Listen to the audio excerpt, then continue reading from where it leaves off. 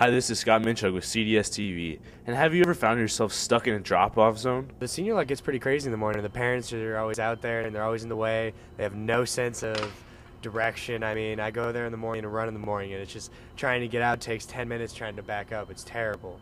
And I'm sick of it. Student drivers and their parents have the constant battle of getting to school on time and keeping traffic flowing. I'm late constantly. I've my first period's a mess. I can never get there on time to do my assignments. My first period teacher's angry at me. He threatened to kick me out of his class because I'm late, just because of the parents. And to be honest, I hate it.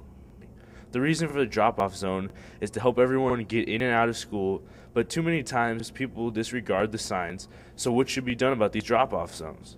Security guards are urging parents more and more to follow the signs and cones so that student drivers will still be able to get to their spots and parents can get out of the lots quickly.